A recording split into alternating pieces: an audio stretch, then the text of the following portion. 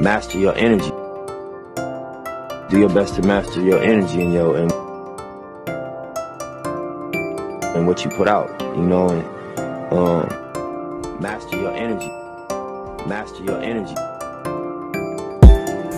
Unless that's what you want, you know.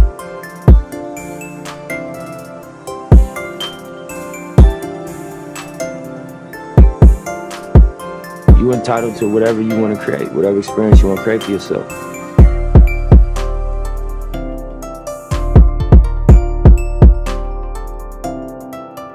If you're tired of that shit, adjust the energy.